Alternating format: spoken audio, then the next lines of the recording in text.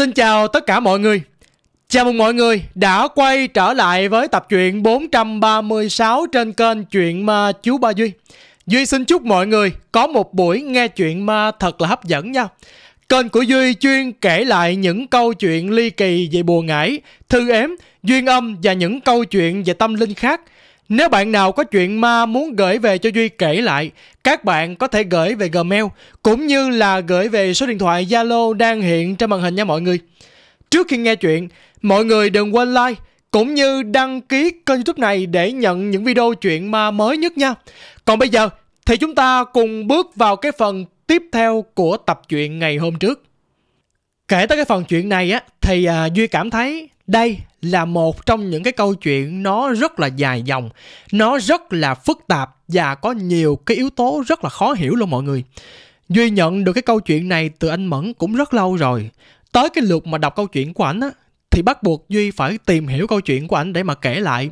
Mọi người biết á, nếu như mà Duy dành hết thời gian để mà tìm hiểu đầy đủ ngọn ngành kể một lượt luôn á thì chắc chắn mọi người sẽ phải đợi rất là lâu á tại vì cái câu chuyện của anh nó dài quá đi rồi nó nhiều chi tiết có nhiều chi tiết mình không có hiểu, cho nên bắt buộc mình phải liên lạc, mình gọi cho ảnh, mình hỏi kỹ lại. Nhưng đâu phải gọi lúc nào người ta cũng rảnh đâu mọi người, ảnh còn phải đi làm. Với lại thêm một cái thông tin duy được biết nữa, hiện tại sức khỏe của anh này đang không có được tốt, là tại vì ảnh còn bị ảnh hưởng dư chấn bởi cái câu chuyện mà ảnh đang kể ra đây nè. Hiện tại ảnh còn đang phải hứng chịu cái hậu quả của ảnh gây ra nữa nha mà cái hậu quả như thế nào á, thì trong những phần tiếp theo, mọi người sẽ được nghe. Nói vậy á, là để à, mọi người hiểu, mọi người thông cảm. Mọi người đừng có trách là tại sao mà cứ à, câu giờ, câu view làm gì, chia từng phần từng phần nhỏ nhỏ để câu view hả? Không có phải, mọi người ơi. Tại vì á, duy đọc, duy hiểu được tới phần nào, rõ ràng hết trơn thì duy mới kể được phần đó. Trừ khi nào mình hiểu rõ hết trơn ha, mình mới có cái hứng mà mình kể chứ còn mà mình kể mà mình nhiều chi tiết cái mình không hiểu á, mình kể cái nó bị thiếu sót của người ta, nó kỳ lắm. Bởi vì nhiều khi kể xong phần chuyện này, chứ cái phần chuyện sau là duy chưa có đọc kịp, tại vì ảnh còn phải chỉnh sửa, ảnh còn phải gửi thêm gửi bớt nhiều thứ lắm luôn á. Nhiều khi lâu lâu cái ảnh nhớ lại cái ảnh kể thêm, cho nên duy muốn kể một cách đầy đủ nhất cho mọi người, có gì mọi người thông cảm nha. Bây giờ thì chúng ta tiếp tục cái câu chuyện.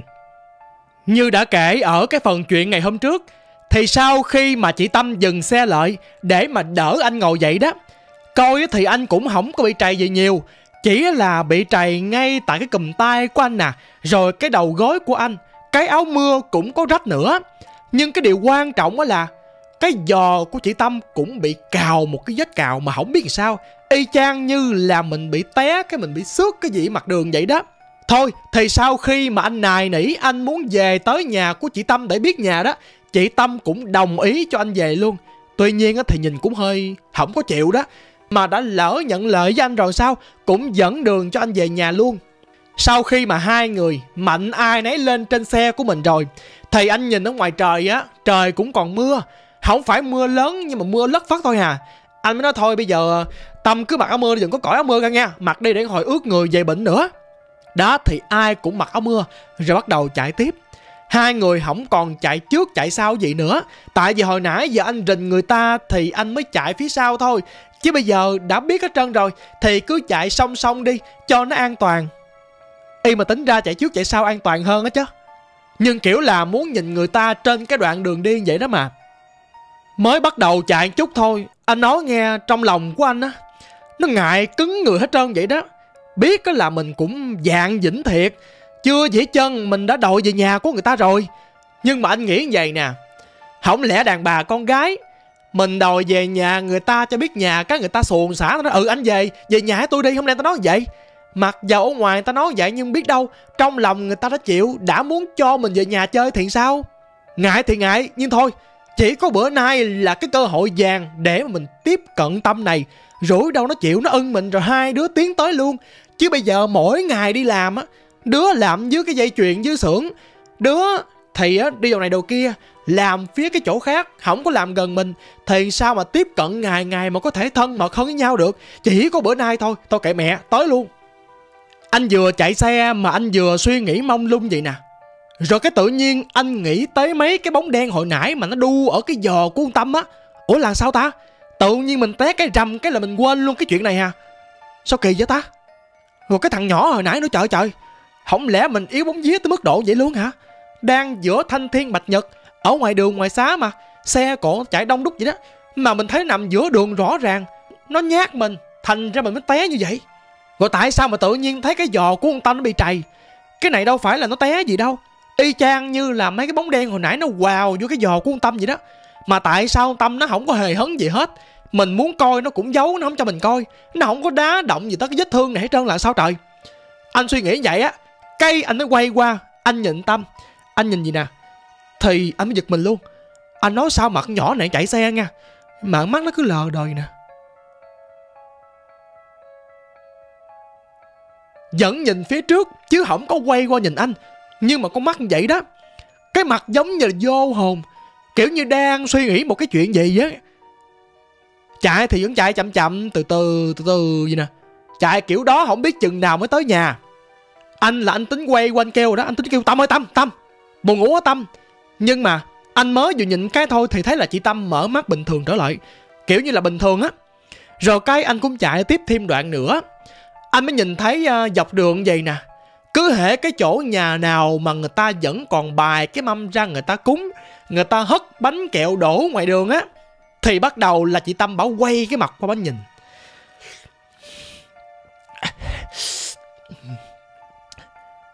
Vậy đó, nhìn xong cái bắt đầu là quay cái mặt về hướng phía trước chạy tiếp, kiểu như thèm thuồng cái đồ cúng của người ta lắm vậy đó. Anh mới thấy kỳ quá đi, cho nên là anh mới quay quanh nhìn tâm vậy nè. Anh nhìn chị tâm, thì khi đó chị tâm không có nhìn anh nha. Chị tâm vẫn còn đang nhìn phía trước. Mà anh đang nhìn thì anh thấy là ở phần dưới của cái áo mưa có nghĩa là cái áo mưa nó sẽ trùm qua cái đầu xe. Còn cái bụng của chị tâm là ở phía dưới cái lớp áo mưa này anh thấy là cái áo mưa tự nhiên nó lôi nhoi lôi nhoi nó u u u lên hai ba cục gì đó nè. Giống như có ai mà lòn cái tay từ phía sau các người ta đẩy đẩy đẩy, người ta đổi đổi đổi lên vậy đó. Anh nhìn, thì khi đó chị tâm bảo mới nhìn xuống gì nè. Nhìn xuống xong các đầu nhìn anh. Nhìn anh giống như là hết hồn, Chột dạ tại vì anh đã thấy cái gì rồi đó. Bắt đầu là cái áo mưa nó không còn u lên nữa, Nó sắp da nó im ru vậy nè. Cái bắt đầu là chị Tâm bà thở Thở. Mà ha, chạy chậm rì luôn. Anh nhìn con mắt của chị Tâm giống như là đang chuẩn bị ứa nước mắt ra. Cái mặt giống như là đang phải chịu đựng một cái gì đó mà không thể nào nói với ai nghe được vậy đó. Mới vừa nhìn nhau xong, Thì tự nhiên ngay tại cái thời điểm đó, anh cảm thấy hơi nhột nhột chỗ cái ngực của anh. Là tại vì bữa nay, Anh có mang theo cái cọng dây chuyền Anh thờ ở nhà của anh á. Anh biết thế nào? Bữa nay anh cũng phải tiếp cận với con nhỏ tên Tâm này. Tại vì bữa nay là ngày rằm mà. Anh cũng có quên kể một cái chi tiết đó chính là Cái bữa sáng ngày hôm nay nè, Khi mà đi mần thì anh có đeo cọng dây chuyền này vô. Như Duy cũng từng kể rồi đó, Thì cọng dây chuyền này không phải ngày nào anh cũng đeo. Anh không biết làm gì thì anh cứ để đại trên cái bàn thờ trển á. Mỗi ngày nghe hương khói tụng kinh, ba má ảnh ở nhà có mở ra còn lâu lâu mà đi đâu ảnh biết chỗ đó nguy hiểm, hoặc chỗ đó có âm khí nhiều, ảnh sẽ mang theo coi như là mình có cái gì đó để mà bình an cho bản thân của mình đi. Chính vì vậy bữa nay có mang theo cọng dây chuyền. Mà từ hồi sáng tới giờ, tới khi bị té xe luôn cọng dây chuyền hoàn toàn bình thường, ảnh vẫn chưa cảm thấy cái dấu hiệu gì hết. Vậy mà còn bị người ta nhát, người ta nằm ra giữa đường cho mình thấy vậy đó nghe. Cho tới bây giờ nè, thì anh mới thấy là cái cổng dây chuyền mình nó hơi lạ lạ rồi mặc dầu không có rung lắc gì nhiều hết, mà cổng dây chuyền nó cứ lắc qua, lắc lại ngay tại cái ngực của anh vậy đấy nè. Do là tới ba cái mặt dây chuyền, bởi vậy đó là cái cọng dây chuyền á, nó thòng xuống chứ không phải là nó ngắn đâu. Chết rồi, cái cọng dây chuyền mà nó gung như vậy là anh biết rồi. Anh biết xung quanh chỗ của mình âm khí rất là nhiều luôn. Phải rồi, Tại vì anh thừa biết cái chuyện mấy bà trong công ty đồn với nhau cứ tới ngày rằm, ngày vía này nọ là con nhỏ này nó yếu dữ lắm. Nó rất là dễ bị người ta dựa vô, người ta quậy nó gì đó. Thì cho nên là anh nghĩ ừ Chắc bữa nay cũng là ngày 16 âm lịch. Thành ra là người ta cứ đu bám, người ta quậy phá nó là cái chuyện bình thường. Do là mình đang đi gần tâm này. Bởi vậy là cái cọng dây chuyền của mình, Nó mới cảm nhận được khí âm. Nó rung lắc như vậy là chuyện bình thường thôi. Ừ thì hồi nữa mình về tới nhà Tâm cũng vô nhà rồi, chắc không có gì đâu. Không lẽ nó quậy tới mức độ mà nó vô tới nhà luôn sao? Với lại hơn hết Là bên ai được qua nhà gái mà. Trời ơi, sướng muốn chết Không lẽ mình bỏ mình về. Mà càng suy nghĩ tới chuyện đó, anh càng tức. Anh nóng trong người nè. Anh mới chửi. Anh nói lầm mầm trong miệng, Anh nói má Không lẽ tụi bay cứ theo tụi bay phá người ta hoài vậy đó hả? Người ta có làm tụi bay không? Trời ơi trời. Mẹ để mắc gì theo người ta hoài vậy? Lễ lộc ta cúng kiến ê hề ê hề không chịu ăn. Mà cứ đi theo ta hoài. Người ta đàn bà con gái. Tụi bay có bệnh á, Thì tụi bay nhát đàn ông, đàn ăn đây nè. Vợ chồng tao mà có về ở chung mà tụi bay nhát kiểu đó nè đúng Tao lấy máu chó, tao tạt tao nghỉ đầu thai luôn. Quậy gì quậy dữ trời.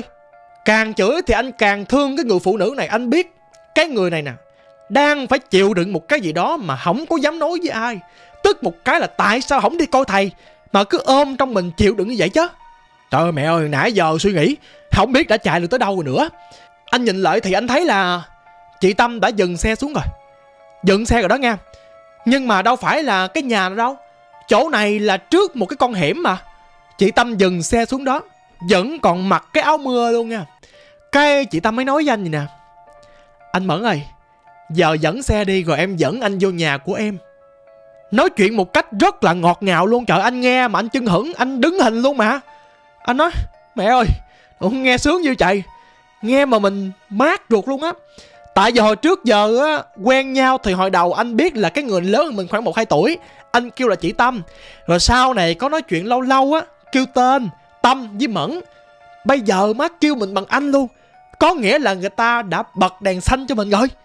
Ồ sướng rân trong người hết trơn vậy nè. Má ơi, ta nói nghe, nó sướng mà Kiểu như hồi nãy giờ là quên luôn cái cảm giác mình trầy tay trầy chân luôn á. Nhưng mà hơi lạ nghe Ủa sao kỳ vậy? Bộ tới nhà chưa mà dẫn xe xuống làm sao? Đâu phải là cái dãy trọ hay là cái gì đâu Cái hẻm cũng bự lắm. Cái hẻm này giống như là cái hẻm mà xe hơi chạy được hai chiếc luôn nghe. Chị Tâm đã bắt đầu dẫn xe vô trước anh rồi. Không có kêu là ừ anh dẫn vô đi hãy dĩ trân á im. Anh mới hỏi là ủa, ủa Tâm ơi Nhà của em là cái nhà nào vậy Tâm? Sau hai hàng toàn là nhà không à mà nhà nào? Rồi dẫn vô bao xa?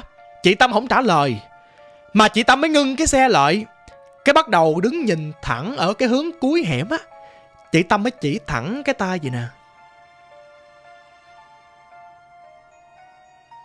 Không có nói ý là ra hiệu là nhà đằng kia Phải dẫn vô đoạn nữa. Anh nói hồi nãy giờ, Từ cái cầu dược An Sương Mà anh chạy tới khúc này là cũng xa dữ lắm nha. Cái đoạn đường nó xa giống như là từ An Sương Mà mình về Củ Chi vậy đó. Anh nói, ủa, Lúc mình chạy đi á, Cũng có nhà cửa rồi xe lớn chạy quá trời. Quốc lộ 22 mà. Sao hồi nãy giờ không thấy quẹo chỗ nào hết Mà sao đứng trước một cái con sớm mà Kỳ ta, Ở ngoài đường thì không thấy ai, Nhưng mà con sớm này thì hai bên nhà cửa nhiều lắm. Nhà nó đều san sát nhau vậy nè Không có một cái kẻ hở luôn. Mà nhà nào cũng y chang Cái kiểu thiết kế, y chang luôn Không có nhà nào khác, nhà nào hết trơn á. Mà sớm có mở đèn nha. Đa số trong cái xóm này là ai cũng mở cái đèn phía trước nhà hết trơn á. Cái đèn kiểu như là Cái đèn hột gà của mình ngày xưa vậy đó. Theo lẽ như những cái xóm văn hóa bình thường á Ở ngoài đầu hẻm Người ta sẽ có một cái bảng để là ừ à, Tổ dân phố mấy Hẻm mấy gì đó. Còn cái này thì không có Nó không có những cái cây cột bằng sắt thép bằng bê tông. Đó chính là hai cái cây cột bằng tre thôi. Mỗi một bên là ba cái cây tre người ta buộc dây người ta chụm lại, cái người ta ghim xuống đất á, kiểu như người ta làm cái cổng chào gì đó mà. Còn ở phía trên á, chắc tầm khoảng 2 mét mấy 3 mét, nó có một cái miếng vải che ngang. Miếng vải đó là cái miếng vải màu trắng, được theo nguyên cái hàng chữ màu đỏ. Chữ đó là chữ tàu, chữ trung quốc gì không hả rồi ở hai đầu của hai miếng vải này là hai cái lá cờ màu đen. Lá cờ không phải là cái lá cờ vuông nha. Đó chính là cái lá cờ hình tam giác. Ta treo bài phới gì đó. Anh đứng từ ngoài cái cổng chào này. Anh nhìn vô sớm thì anh thấy là nhà nào cũng mở cái đèn vàng le lét gì nè. Mà cũng có treo ba cái đèn lồng nữa. Không phải là cái lồng đèn ngôi sao nha. Những cái đèn lồng nó nhỏ nhỏ gì nè. Mà nó le lét le lét như mình đốt đèn cày ở trỏng vậy. Anh nó ủa, Cái sớm này bộ chơi trung thu sớm hay sao ta? Tại vì ngay cái mùa trung thu nè đang rằm tháng 8 mà. Nhưng mà không thấy ai hết á. Bình thường chơi trung thu là phải có con nít nó chạy ra, chạy vô tùm lum trong xóm mà sao kỳ vậy trời? Giờ này thì cũng chắc ờ, mới có 8-9 giờ thôi chứ đâu có trễ gì đâu. Thôi, anh cũng bắt đầu anh dắt xe anh đi vô. Lúc đó đó nha, Anh nghĩ chắc đây là một cái ờ, cái xóm của người qua người tiều gì á. Tại vì hồi đó anh đi ngang quận 5 chợ lớn này nọ thì anh thấy có những cái khu xóm của người qua đó. Người ta cũng tập trung sinh sống vui vẻ lắm. Rồi ở xóm của người ta người ta cũng hay treo những cái miếng liễn, những cái miếng toàn là tiếng hoa không gì nè. Thì anh nghĩ là ừ cái khu này chắc là người qua người ta ở nhiều chứ không có gì đâu. Nhìn lại thì thấy là anh tâm nó đi hút mịn đoạn rồi. Bắt đầu là anh dẫn xe đi lẹ lẹ lẹ lẹ đi vô. Càng đi vô trong cái hẻm này, thì anh thấy là hai bên gì là nhà nó đều rang với nhau luôn. Nhà rất là đẹp sơn màu sặc sỡ lắm, màu vàng, màu đỏ đủ hết. Cái anh có nghe một cái tiếng nhạc. Cái tiếng nhạc này là cái tiếng nhạc mà nhạc của người tàu á. Nhạc hoa, nhạc trung vậy á. Mở mà nó thé thé the thé vậy nè. Cái tiếng giống như nó bị kéo dài ra vậy đó. Mọi người có ai từng nghe cái âm thanh ở trong cái loa bông bí chưa? Anh đã từng được nghe rồi, hồi nhỏ, nhà bác tư của anh có con cái. Thì anh nói là cái âm thanh nó phát ra nó y chang vậy đó nghe nó cổ xưa mà nó hơi bị kéo dài cái tiếng ra. Mặc dầu cái người hát cái bài này rất là hay luôn mà anh không biết là cái bài gì thôi. Cái giai điệu hay lắm. Anh nghe rõ ràng cái bài này được phát ra từ cái nhà ở đầu hẻm nhưng mà khi mà anh đi tới giữa hẻm rồi, anh vẫn còn nghe giống như là nhà nào cũng mở vậy đó. Đi guồn guồn vô tới giữa hẻm thì anh vẫn chưa thấy có ai. Nhà nào cũng trống không mà anh thấy cái mùi nhang á, nó sọc ra như là nhà nào cũng đốt nhang nghe mà khói nó bay ra ngoài đường vậy đó. Trong nhà, trong cửa cũng trống quơ, trống quắc, không thấy ai mà ngộ quá trời. Lần đầu tiên mới thấy một cái khu xóm vậy luôn á. Đi thêm khoảng hai, ba căn nhà nữa, thì anh có thấy là một, hai đứa nít nó chạy, nó giỡn. Mà nó chạy giỡn trong nhà đó nha. Nó chạy giỡn, anh nhìn, ủa? Nó chạy giỡn kiểu gì mà nó chạy thông từ cái nhà này qua tới cái nhà kia luôn? Ngộ vậy? Ngộ trời, kỳ quá. Rồi thôi, anh cũng dắt anh đi tiếp luôn. Tới khúc này thì bắt đầu anh mới thấy lạ. Anh nói ủa cái sớm thì cái đường rộng rãi như vậy đó mắc gì nó không chạy ịn cái vô tới nhà luôn rồi dừng xe dẫn vô chi vậy trời? Bộ cái sớm này người ta có nội quy là đi vô tới đây là phải uh, dắt xe hả? Đâu phải như đồn công an đâu mà phải uh, quy định đủ thứ trơn trời. Anh đang suy nghĩ vậy thì anh mới thấy là cái nhà ở gần cuối hẻm á có hai cái bà đàn bà. Hai bà kiểu như đang ngồi tụm lại để mà nói chuyện với nhau vậy đó nha bắt đầu thấy anh đi ngang cái hai bà nhìn hai bà quay lại hai bà nhìn. Trợn con mắt thao láo là mà nhìn anh gì nè. Cái bắt đầu hai bà đứng dậy. Đứng dậy quay lưng bước vô nhà. Trời ơi, anh nhìn rõ ràng mà tại vì khi đó anh dắt cái xe là đi ngang mặt hai bả luôn. Thấy rõ ràng mà. Khi hai bả đứng dậy, thì anh thấy là hai bả mặc hai cái bộ đồ bông. Mà mọi người hình dung đi, giống như là cái miếng giấy màu á mà mình có cái trò chơi mình cắt giấy màu giống như hồi xưa mình học thủ công á. Mình cắt ba cái bông, ba cái hoa, mình dán lên cái đồ của bà vậy đó. Bà đứng là một cái thôi. Thì ở chỗ những cái ống quần, những cái tay áo của bà đó, nó nhăn lại, nó dò nát lại gì nè. Mình nhìn y chang như hai bả đang mặc hai bộ đồ giấy chứ không phải là đồ bằng giải như là người sống mình đâu. Nói tới đây thì mọi người chắc là cũng hiểu phần nào rồi đó ha tại vì hai bả mặc hai cái áo tay dài, quần cũng dài luôn. Cái áo với cái quần nó trùng một cái hình bông. Một bà thì mặc cái bông màu tím, một bà thì mặc cái bông màu vàng. Đứng dậy rồi cái đóng cái cửa lại. Khi đóng cái cửa lại, anh cũng thấy cái cửa này lạ luôn. Cái cửa, nó cũng bằng cái cửa bình thường của mình vậy đó. Mà nó có những cái ô ly gì nè. Nhìn y chang như mình lấy giấy tập mình dán lên cái cửa của hai bà vậy đó trước khi hai bà đóng cửa, anh có ngó anh nhìn vô cái nhà cái nữa thì anh thấy ở trong nhà của bà có rất là nhiều những cái bịch bánh. Những cái bịch bánh này giống như là bánh tây mình hay cúng cho trong hồn rồi nọ đó. Bịch nào nó cũng bự hết trơn. Nó bự bằng cái ghế bàn vậy nè, để nhét nguyên một cái nhà của bà. Mà trong khi cái tỷ lệ nhà của bà là cái nhà nó bự như nhà của mình nha, chứ không phải là nhà nhỏ bằng nhà đồ chơi đâu. Phải chi mà nhà của mấy bà nhỏ thì anh có thể nghĩ ừ không lẽ mấy người là ma, là quỷ, nhà bằng giấy, rồi người ta nhát mình không phải? Cái nhà nó y chang như là cái kích thước nhà của mình vậy thôi à như nhà cấp 4 nhưng mà nhà nào nhà nấy cũng y chân một kiểu với nhau.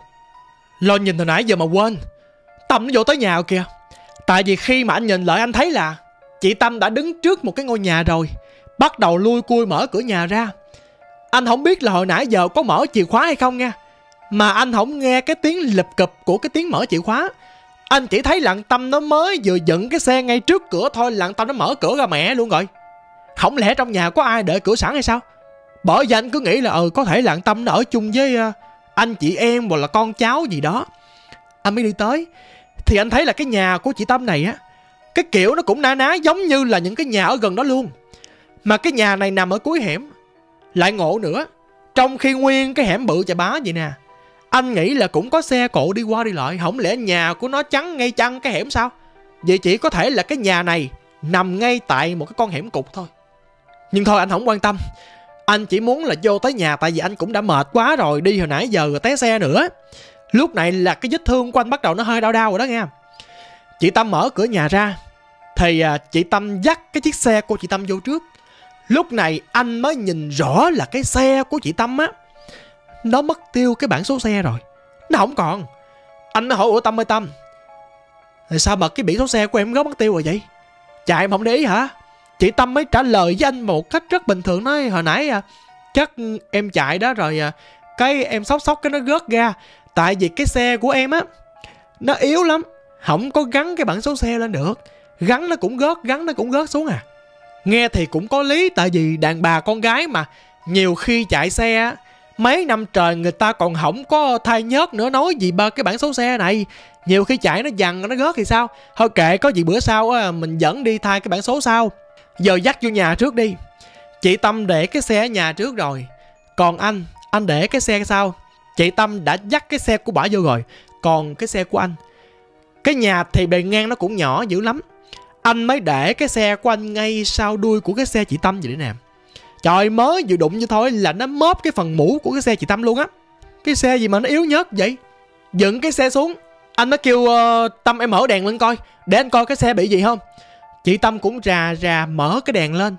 Cái đèn nó chớp nháy khoảng cả chục lần nó mở đèn lên á.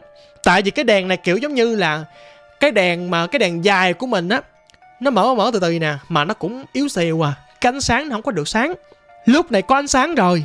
Anh nhìn lại cái xe thì anh thấy là cái dàn mũ phía chỗ mà cái đuôi xe nó hơi mớp một chút. Ủa? Dẫn xe thôi mà có cái gì đâu mà nó mớp dữ rồi trời. Anh tính kêu chị tâm lại coi nè, nhưng mà chị tâm đã đi vô nhà sau rồi. Kiểu như đi vô thay đồ hay là cái gì đó anh không rành. Anh nhìn kỹ lại cái chỗ nhà này thì trời ngộ vậy. Cái cửa trước, rồi nhìn phía bên tay trái là nguyên một cái bếp. Không có bếp ga nha, nhưng mà anh nhìn đó là anh thấy à, có nồi nè, rồi có chén, có dĩa, có đồ ăn nữa. Thì anh nghĩ cái chỗ là cái bếp đây nè hả? Nó có cái bàn. Mà không thấy bếp gì chân á. Có chén đũa kế bên luôn. Anh nói ông nội nè, hồi đó làm nhà này kỳ trời. Mới vừa bước vô cửa nhà là thấy liền cái bếp luôn. Rồi ngủ ở đâu? Trong khi á, cái chỗ để xe này nè, giống như là một cái phòng khách của cái nhà cấp 4 bình thường vậy đó. Không có bàn, không có ghế, không có một cái gì hết. Nó trống lỏng, trống quơ, trống quát à. Mà con tâm nó chỉ mở cái đèn ngay tại cái chỗ mình đứng thôi. Nó còn nguyên cái khoảng phía sau nữa hình như là cái phòng hay là cái đường đi vô nhà sau vậy đó. Nó không mở đèn, nó đi thẳng vô tới trọng muốn đi vô tới đó là phải có cái màn nó chắn ngang vậy nè. Anh thấy được cái bóng chị tâm đang lui cui ở trọng á, chắc là thay đồ tắm rửa gì đó mà. Do là anh cũng ngại, anh chưa kịp nói gì hết á. Cái anh tâm nó bỏ ở trọng rồi. Bởi vậy là anh mới ngồi ngay tại cái yên xe của anh. Anh chưa có nói gì luôn.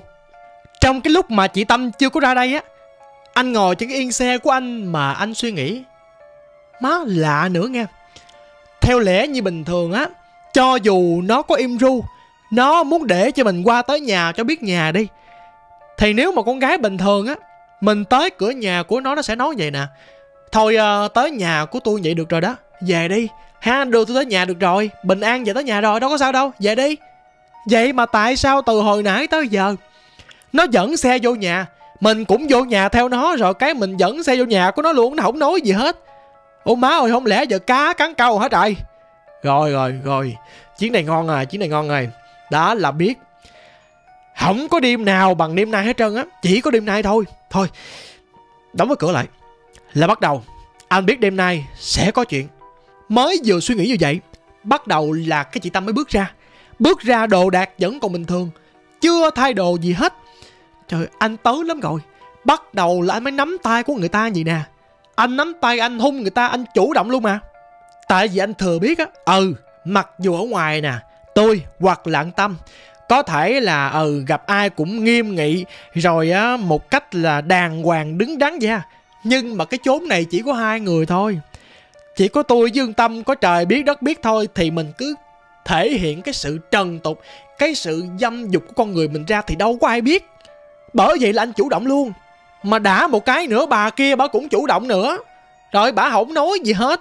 Bắt đầu là bà xa vô cái vòng tay của anh liền mà. Nói thiệt nha, Từ hồi đó tới giờ, Anh có ăn chơi nhưng chưa bao giờ anh nếm trải qua cái cảm giác này. Anh nói nghe cái cảm giác lần đầu tiên Mà anh được môi kề môi với lại một cái người khác giới với mình á. Nó đã còn hơn là ngày xưa, Anh chơi cái chất kích thích 10 lần. Nó đã vậy đó. Ai mà không mê cho được. Lúc này là bắt đầu tưởng tượng y chang như là trong những cảnh phim tình cảm lãng mạn nha. Nó là ná vậy đó. Rồi, ai cũng quấn quýt lấy nhau nè, rồi hung. Hung vậy đó nha Nhưng lúc đó anh cảm giác giống như là Sao mà nó hơi ờ, cộm cộm cả cả ở cái miệng của anh đó là tại vì Sao mà răng nhỏ này nó hơi nhọn nhọn ta? Bình thường con nhỏ này nó đâu có răng khẩn hay là nó có răng thỏ gì đâu, Mà sao nó hơi rác rác. Cho nên là anh mới giật cái miệng của anh ra ngay khi mà anh vừa giật cái miệng ra, anh chưa kịp coi kỹ là ờ có cái miệng của em bữa nay, sao mà răng của em mà nó bén dữ vậy? Má thiếu điều mà nó muốn cắn mà chảy cái máu môi của mình vậy đó. Chắc là do hồi nãy giờ cuồng si quá mà. Chưa kịp hỏi gì hết, bắt đầu là hai người, ai cũng nghe cái tiếng la làng ở phía nhà trong của chị tâm này nè. Mà cái tiếng la này giống như là cái tiếng la của con nít vậy đó, kiểu như nó quậy á. Nó làm âm âm đung đung nè không được không được ôi ôi ôi nó là cái gì mình không có nghe rõ là nó là cái gì nữa. Cho nên là chị tâm mới buông anh ra. Chị tâm mới chạy thẳng vô trong. Anh mới nói, ủa, kỳ á. bộ cái nhà này có con nít hay sao mà? Nó chạy vô trọng nó giữ mấy đứa kia hay sao? Trong khi hồi nãy giờ hoàn toàn đâu có ai trong nhà ngoài con tâm. Tưởng đâu vô trọng em xui rồi, chị tâm vô trọng đó hả? Còn làm bụp bụp hơn nữa, giống như đánh lộn với nhau trong gì đó nghe khóc la tùm lum hết anh tức cái mình quá, anh mới chạy vô. Anh dán cái màn anh bước đi vô á thì anh chỉ thấy nguyên cái gian nhà đó nó tối, hù, tối mịt. Nó không có một chút ánh sáng gì hết. Mà cái nhà ở ngoài này nè, nó cũng có ánh sáng, nó rọi vô được có chút nó mờ căm hà. Tại vì nó cách một cái lớp màn mà. Anh kiếm tâm hoài thì anh nói, ủa, sao mà nó đứng ngay tại một cái góc nhà? Cái đó cũng không phải là cái phòng ngủ nữa. Nó trống quơ, trống quắc à. Chị tâm đứng ngay đó, mà hai cái tay chị tâm để phía sau lưng gì đấy nè. Giống như đang giấu anh một cái gì vậy đó. Anh mới hỏi, ủa tâm ơi, em có gì không tâm? Em bị gì à ủa nãy giờ em làm gì vậy? Đi ra này nhà làm gì vậy? Bắt đầu chị tâm quạo nha. Ra đi ra ngoài đi. Ra chiếu đi. Họ nói, ủa kỵ tâm tâm ơi. Tôi dẫn tâm đi ra nè. Không, đi ra. Chị tâm nạt anh vậy đó anh đó là anh sợ mình nhiều chuyện quá mức. Mình động chạm vô tới không gian riêng tư của người ta. Thôi, anh tính là quay lưng đi ra. Nhưng khi anh vừa quay lưng đi ra đó, thì chị tâm mới nói ngọt ngào nha. Anh mẫn đi ra ngoài đi rồi chú em kể cho anh nghe này. Anh đi đi, anh đi ra ngoài đi. Kỳ vậy đó. Tự nhiên khi anh nghe câu nói đó thì anh hết sợ. Bởi vậy là anh mới quay cái mặt của anh lại. Anh hỏi em có gì không tâm? Anh rồi cái đèn pin đèn pin điện thoại của anh á khi mà anh mở đèn pin anh thấy điện thoại của anh có rất nhiều cuộc gọi nhỡ từ bà má của anh ở nhà nghe. Kiểu bà lo giờ này không về bà gọi, anh không quan tâm. Anh rồi thì anh thấy tay chân của chị Tâm bầm tím hết trơn mà có dấu cắn nữa. Cái dấu răng rành rạnh trên hai cái tay của con Tâm vậy nè. Nhưng mà chị Tâm nói thôi hồi anh đi ra ngoài đi rồi em kể cho anh nghe. Đi đi đi đi anh, đi đi đi ra ngoài đi. Anh mới quay cái mặt ra nhà trước, anh ngồi ngay tại cái yên ghế xe của anh. Lúc mà anh từ ở nhà trong, anh bước ra ngoài á, anh có đi ngang cái tấm màn. Tấm màn rất mỏng. Anh dẹt tấm màn cái gì nè? Dẹt làm sao mà cái tấm màn nó không có xả về cái vị trí ban đầu? Nó vẫn bị dẹt gì nè? Cho nên là anh ngồi ngoài á anh vẫn có thể ngó ngó nhìn vô trong được miếng. Anh nhìn vô trong thì anh mới hết hồn luôn. Anh thấy là hồi nãy giờ mình vô mà mình không để ý. Khi mình bước vô cái gian nhà ở trong đó, đó ở phía trên cao nó có cái bàn thờ ở trên kìa mà cái bàn thờ nó đốt cái đèn đỏ gì nè, hồi nãy giờ sao sao không thấy ta? Ở trên cái bàn thờ đó, nó có một cái tấm hình, y chang tấm hình thờ thôi, mà đã được phủ lại bằng một cái miếng vải rồi. Cái miếng vải trắng, nhưng mà do cái đèn nó màu đỏ, nó phủ lên, cho nên là cái miếng vải trắng nó cũng thành màu đỏ luôn. Rồi ở trước cái tấm hình này, nó có tầm khoảng 4 năm cái cục gì đó mà nó tròn tròn, nhỏ nhỏ này nè. Anh đoán tôi nha, có thể là cái cục đất tại vì nhìn nó thô ráp mà nó gồ ghề y như cục đất vậy đó. Anh nói, ủa, cái trang thờ này nó cũng nhỏ giống như là cái trang thờ của ờ, Phật Bà Quan Âm hay là ông thần tài thú địa thôi, nhưng mà được treo tuốt trên á. Sao kỳ vậy? Anh nói, nếu như mà nhà có thờ này thờ kia thì mình phải thờ ngay tại nhà trước chứ. Sao mắc gì phải thờ ở nhà trong đâu có cái màn đi theo nữa? Trong đó có thể là cái phòng ngủ hoặc là cái phòng thay đồ hay gì? Mà khi mình đi vô mình không thấy có cái gì hết nó trống không hà. Không có nhà tắm hay không có dĩ trân mà ở phía cuối là cái bức tường mẹ nó rồi. Nhà gì kỳ cục à rồi tắm rửa, rồi ăn uống gì đâu. Má thiệt đêm nay là phải đợi hỏi ra lẽ chứ giờ. Không lẽ hai đứa chỉ hung nhau vậy rồi rồi ngủ đâu? Không biết chỗ ngủ đâu luôn á. Trong cái lúc này, chị tâm chưa đi ra, thì anh cũng ờ, đứng dậy. Anh đi lại cái chỗ mà có mấy cái đồ ăn trên bàn, anh coi thử coi là cái gì, coi nhà cửa rằng sao cũng có chén bát này nhọn nghe mà chén bát giống như là chén chưa có rửa. Không có bếp ga chỉ có một hai cái nồi thôi mà cái nồi nó cũ nghe. Cái nồi không biết sao mà nó bị xét hết trơn à rồi không biết nấu kiểu gì nữa. Trong cái nồi thì nó có một chút xíu nước gì nè nước trắng thôi chứ phải nước gì hết. Mà kế bên cái nồi có hai ba cái dĩa xôi. Xôi này là xôi đậu trắng á. Thì à, anh cầm cái dĩa xôi lên nó trời ơi cái xôi nó nhớt nhợt nó thiêu nhớt luôn vậy đó nó hôi rình, thú quắc à. Mà sao ờ, kỳ vậy? Sâu giống như là ai ăn mà lấy tay bóc nó rớt tùm lum ở trên cái bàn vậy nè. Thật ra đó chỉ là một cái bàn dài thôi, chứ không phải là cái bếp. Không thấy chỗ rửa tay mà không thấy chỗ nấu cơm, nước gì hết. Bắt đầu là anh càng thấy lạ về cái người phụ nữ này rồi đó nha. Để nói mà sợ thì anh cũng chưa phải là sợ. Anh chỉ hơi rờn rợn trong người một chút thôi nhưng cũng không là vấn đề. Tại vì anh thấy là ừ nhỏ này nó cũng ở trong một cái xóm cũng có nhiều nhà quá nè. Cũng có người đi ra đi vô. Không phải là cái chỗ quan vắng gì hết. Rồi à, thấy nó ở cũng đơn giản, chắc là tại vì cái kiểu cách của nó vậy. Nó không có cầu kỳ xe xui với ai. Nhưng cái quan trọng là bữa nay mình đã có cái nụ hôn đầu đời rồi. Má ơi, nó đã, nó sướng vậy nè. Còn hồi nữa cái chuyện gì tới trời? Chỉ nghĩ được nhiêu thôi đó. Cho nên là anh ráng anh đợi nè. Mới vừa lần quần ngay tại cái chỗ đó thì anh mới nghe cái tiếng dẹt cái màn ở phía sau. Anh quay lại thì anh nói, chị tâm, từ trong nhà trong đi ra, không có một cái tấm vải che thân. Từ trên xuống dưới nó trắng nuốt gì đấy nè. Mà anh nhìn kỹ lại anh thấy là nguyên cái người của ông tâm toàn là dấu bầm không? Bầm tím giống như là ai ngắt, ai nhéo trong cái cơ thể của ông tâm vậy đó thậm chí là ở cái phần bụng, rồi cái phần ở dưới bụng, nó cũng có những cái dấu bầm tím luôn. Ủa, không lẽ hồi nãy giờ nó tắm nó thay đồ sao? Mà không hề nghe cái tiếng xối nước, tiếng nước chảy gì hết. Quan tâm mẹ chuyện đó nữa. Anh nhìn người ta vậy là anh đần đần trong người anh hết trơn rồi. Lên rồi đó. Đứng thụ lụa đó. Cây mới lấy ra hai cái gối. Chị tâm cầm đưa cho anh coi hai cái gối gì nè. Mà hai cái gối này nó bự lắm nha nó giống như là cái gói quyên ương gói long phụng ngày xưa mà vợ chồng mà cưới nhau về rồi đó, cái ngày đầu tân hôn người ta, cha mẹ hai bên cho cặp gối nó bự cho bá vậy nè. Bây giờ thì một số nhà vẫn còn sử dụng, nhưng mà không có phải mà nó bự như gói này đâu. Nó bự cho bá luôn mà hai cái gối. Không biết là phải cái gói này nó bị cũ, hay là do cái ánh đèn trong nhà này nó mờ mờ mà nó vàng vàng quá đi. Anh nhìn thấy cái gối này nó cũ xì à. Nó màu vàng khư vậy nè chứ không phải màu trắng nữa. Chị tâm mới đưa cho anh nói nè. Đi ngủ. Đi ngủ với em đi. Anh là anh cũng đã chuẩn bị tâm lý trước rồi. Một khi mình đã về nhà của đàn bà phụ nữ, chỉ có hai người ở đây thì chắc chắn đêm nay phải xảy ra chuyện. Nhưng mà anh mới nói thôi, nhà tắm ở đâu để anh đi tắm anh thay đồ cái đã chứ.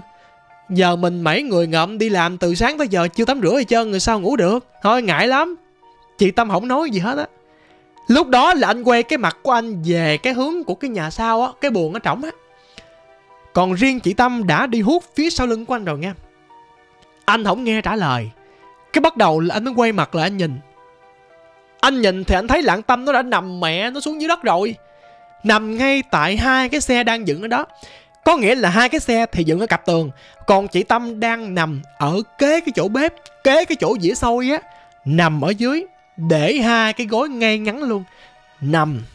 Mà cái tướng nằm rất là khiêu gợi. Nói như vậy là mọi người hiểu rồi ha.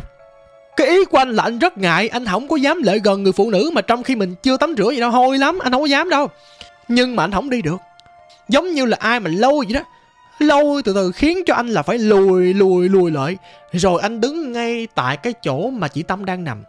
Tới khi mà anh đứng ở đó, anh vẫn không biết tại sao mà anh bị lui ngay tại chỗ đó nữa anh quay mặt lại, thì hai cái khuỷu chân của anh ngay tại cái chỗ mà cái ống quyển á, nó khuỵu xuống gì nè. Anh cảm giác giống như có ai từ đằng sau mà người ta đá thẳng vô cái ống quyển của anh để mà anh khuỵu cái giò của anh xuống vậy đó. Ngay khi mà anh khuỵu hơi hơi xuống rồi, thì chị tâm đang nằm, chị tâm mới thò hai cái tay cô dao này nè, ôm cái eo của anh rồi kêu anh nằm xuống. Anh nằm xuống đi, nằm xuống với tâm nè, nằm xuống nằm xuống đi anh trời ơi, anh nói nghe con mắt thèm thuồng dữ lắm. Hồi đó giờ chưa bao giờ anh thấy mà cái biểu cảm này trên gương mặt của chị tâm luôn á. Nhìn nó rất là dâm đảng anh nói không biết sao nghe. Bây giờ là anh quên trời trăng đất hỏi gì luôn rồi đó. Anh không biết gì luôn. Anh chỉ biết đắm chìm vô cái cảm xúc này thôi đó. Ồ, chưa làm gì hết mà bắt đầu anh sướng rồi đó. Khi mà chị tâm giang hai cái tay ra, kéo anh xuống vậy nè là bắt đầu chị tâm hoàn toàn chủ động hết anh không có làm gì, tại vì lúc đó là cái người của anh cứng đơ hết trơn rồi. Nó cứng cả cơ thể của anh đó nha. Kiểu như anh bị trời trọng á. Anh đứng yên, anh anh anh chưa có kịp mà chấp nhận được cái chuyện này, tại vì mọi thứ nó tới quá là nhanh đi. Anh không có nghĩ một cái người con gái mà lúc nào cũng đoan trang, hiền thục mà chính chuyên như lại tâm, tự nhiên nó lại xuồng xả như vậy. Nó bạo quá vậy. Trời ơi, anh nói hả? Chị tâm á chỉ liếm từ trên đầu xuống tới dưới của anh luôn, mà trong khi đó anh vẫn còn mặc đồ, chứ anh chưa có cởi hết đồ của anh ra nữa.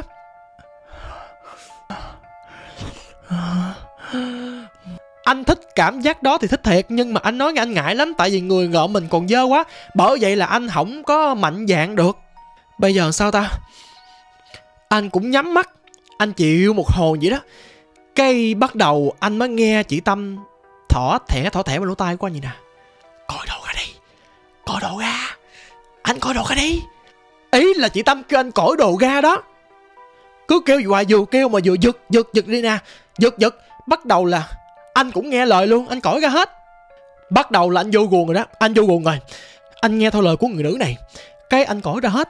Nhưng khi anh cởi đồ của anh ra thì nó vẫn còn cổng dây chuyền. Tại vì đêm nay anh có đeo cái sợi dây chuyền mà. Khi đó thì anh cũng đấu tranh lắm anh nói giờ có nên gỡ cổng dây chuyền ra không ta? Chắc là không. Tại vì cổng dây chuyền này á, mình đã giữ trong người của mình đã mười mấy năm rồi. Mình không thể nào mà mình cởi sợi dây chuyền ra được. Tại vì á, cọng dây chuyền này coi như là cái đồ bảo hộ cho bản thân của mình. Mình không có gỡ ra gỡ ra bỏ dưới đất nó dơ rồi sao?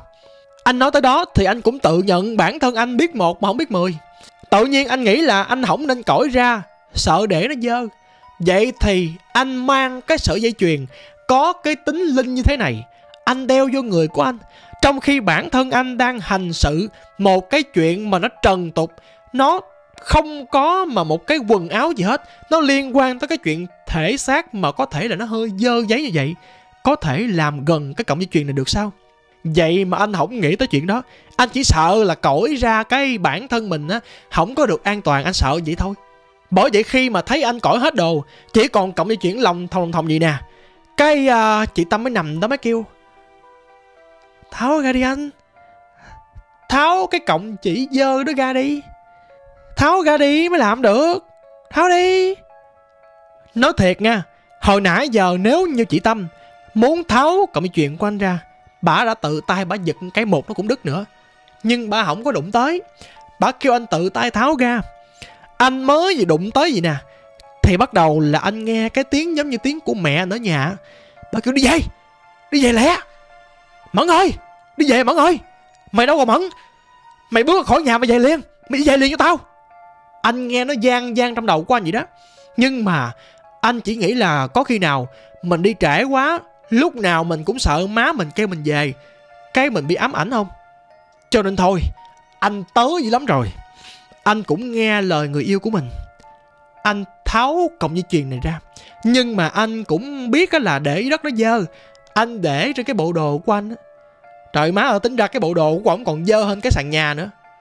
Từ cái lúc mà anh nắm cái tay vô cọng dây chuyền của anh Anh nghe tiếng mẹ của anh kêu, Cho tới khi mà bắt đầu anh tháo ra rồi đó, Thì chị Tâm vẫn nằm im ru, Vẫn nhìn anh mà thở mà học học gì nè. Tới khi anh tháo ra rồi Bắt đầu chị Tâm ôm anh. Trời ơi, y chang như là một cái con thú vậy đó. Anh thì anh cũng thích cảm giác đó, Nhưng mà anh hơi bị sợ nha. Anh nói sao mà nó làm dữ vậy trời? Sao mà dữ vậy? Không lẽ đàn bà mà tới tuổi hồi xuân Nó mạnh bạo vậy sao? Suy nghĩ một đường, Nhưng cái hành động của anh làm một nẻo.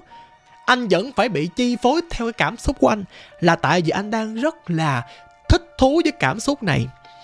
Cây anh mới nghe cái chị Tâm á. Bà để cái miệng sát cái lỗ tai của anh gì nè. Muốn trai hay gái? Muốn con trai con gái? Nói mà kiểu như nói bằng cái hơi gió đó. Vừa nói ra cái nó vừa có gió, Nó cả vô cái lỗ tai của mình vậy nè. Trời anh nghe là kiểu như là hmm. Rồi, Thì mọi người biết sau khi mà cõi cộng cái chuyện đó ra, Cái gì tới nó cũng tới. Như là anh nghe thêm câu của người ta là muốn có con trai hay con gái. Anh đã xác định rõ được cái người nữ này. Người ta đã muốn có con với mình rồi. Kiểu như ừ có con trước đi, Rồi hai đứa mình chừng nào có tiền nhiều Rồi cưới nhau. Tại bây giờ đứa nào cũng lớn tuổi hết rồi. Cho nên là anh chơi xả láng. Cho tới khi mà xong trận rồi đó, Ai cũng lăn ra nằm thở vậy nè. Anh á, Thì anh nằm ngay phía sau lưng của cái chị Tâm. Chị Tâm nằm quay về hướng bên kia, Anh nằm sau lưng ôm gì nè. Ôm từ phía sau lưng á. Cũng mệt quá đi. Hì hục hồi nãy giờ rồi. Cái anh mới nằm, Anh cũng có hung chị Tâm, Coi như hai đứa đã chính thức với nhau rồi mà.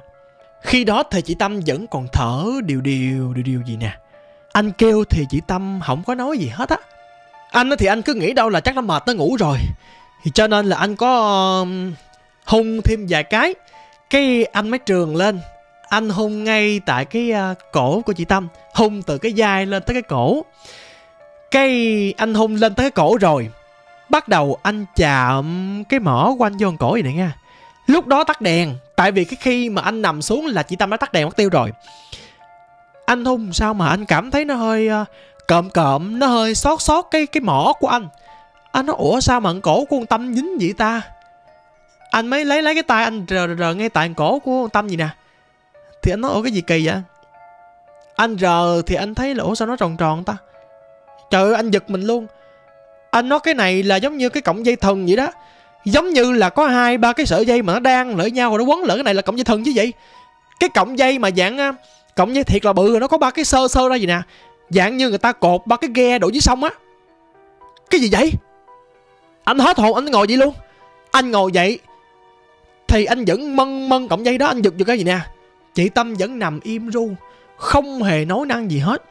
Anh mới hỏi tâm ơi tâm tâm làm gì mà em cột cổng dây vô cổ em vậy Tâm? Trời ơi, trời, anh sợ là có án mạng xảy ra nữa Mà trong khi hai đứa mình mới vừa làm xong đâu có bao lâu đâu.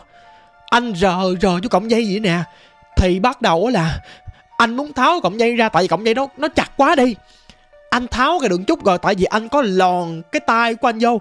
Anh lòn bốn ngón tay của anh vô vậy nè, cho nó nó nới ra. Sợ đâu, có gì nó nó siết cổ người yêu mình là sao?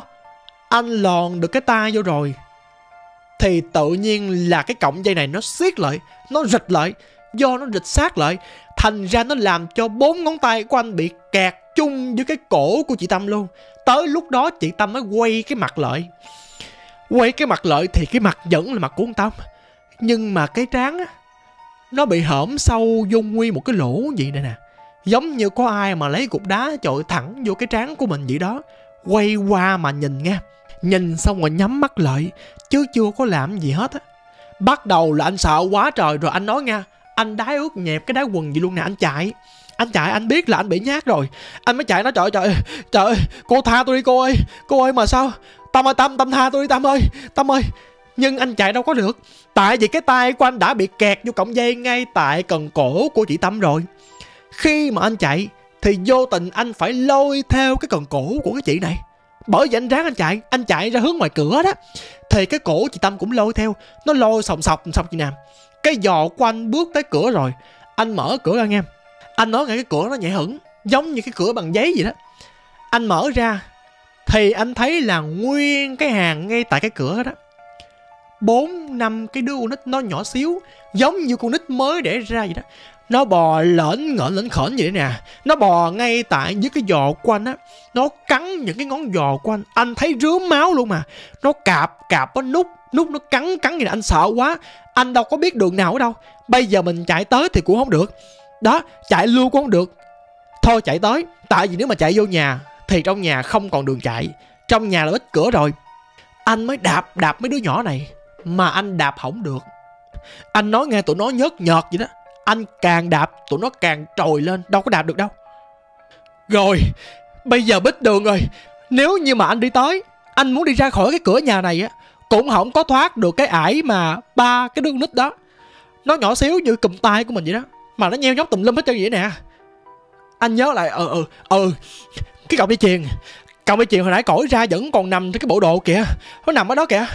Anh mới ráng anh lết vô để mà anh lụm cọng dây chuyền đó anh lụm đâu có được.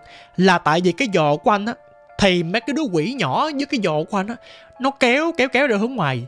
Còn cái tay trái của anh á, thì cái chị tâm.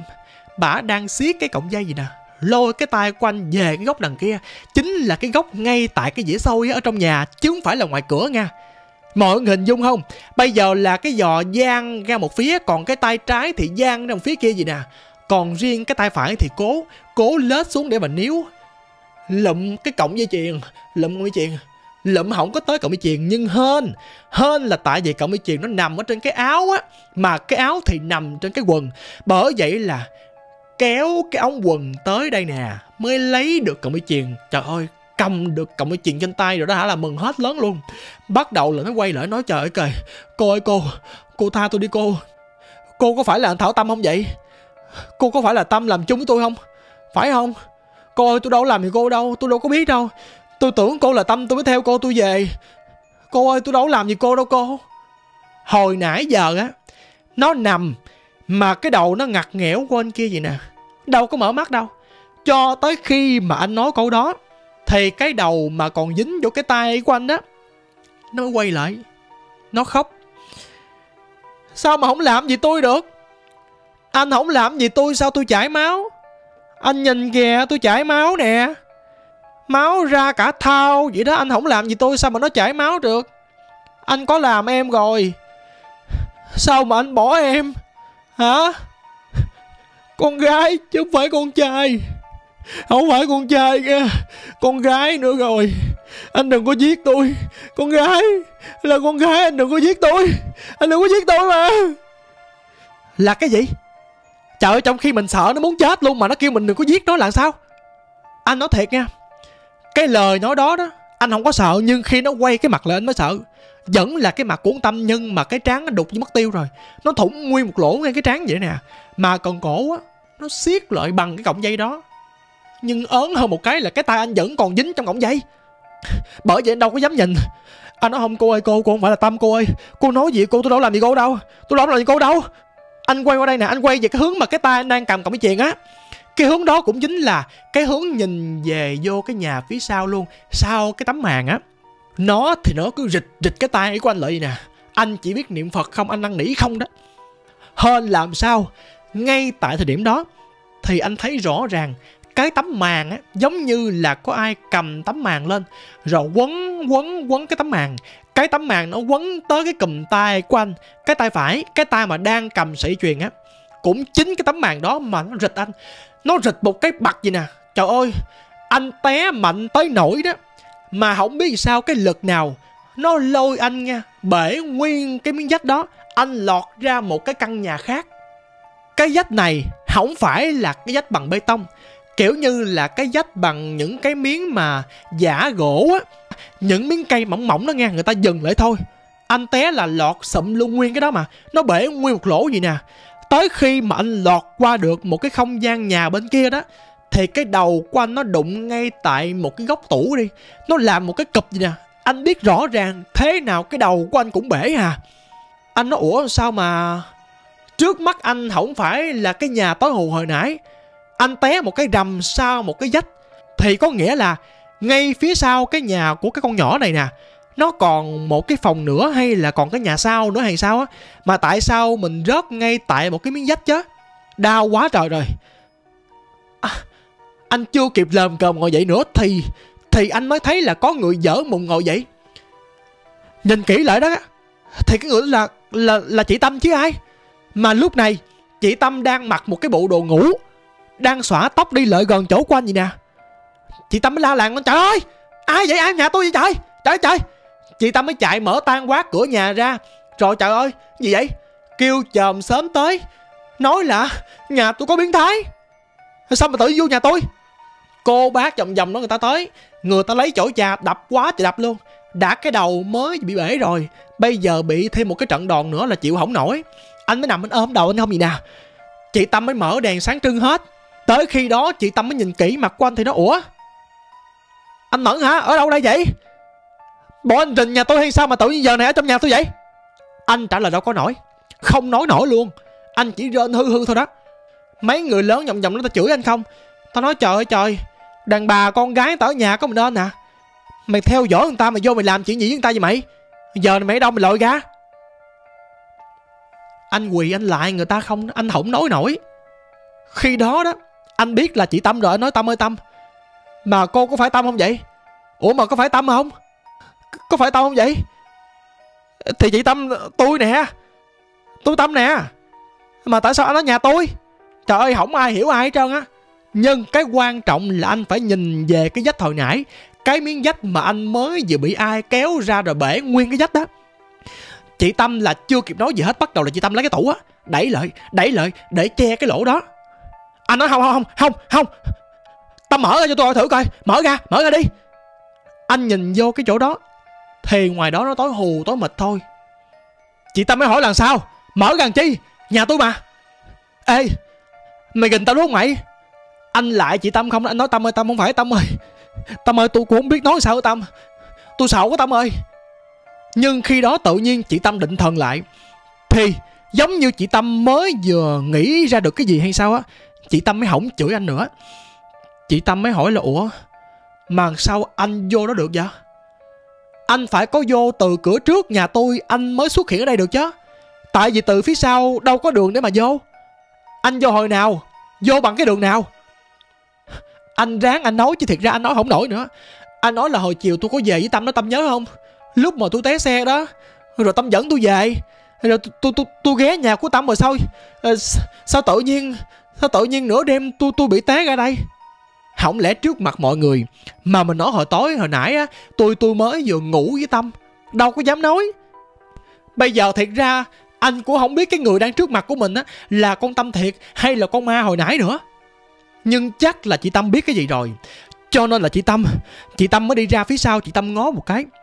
Trời ơi, ở chỗ đó nó cũng có cái cửa nữa. Cái cửa đi ngược ra cái nhà hồi nãy mà anh đang ở đó anh cũng ráng anh lết ra anh coi. Anh coi bằng cái đường cái lỗ đó. Thì anh thấy là chị tâm cũng có mở một cái đèn ra. Quá ra cái chỗ này là cái sau hè của nhà chị tâm. Có nghĩa là kể từ cái miếng vách mà anh mới vừa bị té đó, cái miếng vách đó cũng chính là cái miếng vách cuối cùng ở cái nhà của chị tâm này. Phía sau á, là cái chỗ hồi nãy giờ anh đang ở, anh ngủ chung với người đó đó. Anh chỉ là đang ở một cái chòm mã thôi anh nhìn ra thì anh thấy trong góc nhà phía sau á, nó có một cái miếu nhỏ nhỏ gì nè. Có cái ánh đèn đỏ. Trong cái miếu đó là cái tấm hình bị che cái miếng vải trắng lại, y như là hồi nãy anh thấy ở phía trên. Vậy thì ở ngoài sau nó đâu hề có cái nhà nào đâu. Trời, anh nhìn ra thì anh thấy là cái xe của anh dựng thiêu liêu ngay tại một cái chợ mã.